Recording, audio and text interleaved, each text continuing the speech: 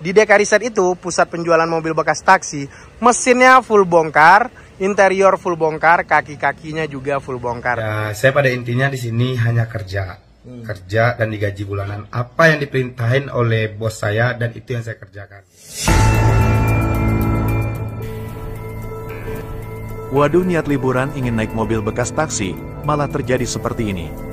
Pasangan suami istri meluapkan kekecewaannya di media sosial TikTok. Lantaran mereka mengaku menjadi korban tipu oknum pedagang bernama Deka Riset. Alhasil niat Pasutri asal Cilengsi, Bogor, Jawa Barat itu untuk liburan naik mobil bekas taksi gagal total.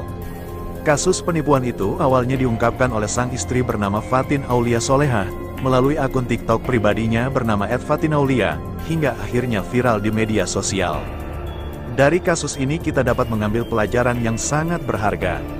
Kalau kita mau membeli barang apa pun jangan pernah percaya begitu saja, kepada siapa pun apalagi baru kenal. Tetapi untuk bengkel Dekariset ini memang si orang sudah tidak ragu dengan bengkel ini. Dikarenakan dari segi pelanggannya juga dari orang-orang yang sudah punya nama salah satunya seperti Bang Marcel atau pesulap merah walaupun akhirnya beliau juga kena tipu. Jadi saran kami tetaplah hati-hati. Melakukan pembelian barang apa pun apalagi harganya tidak murah. Tetap waspada.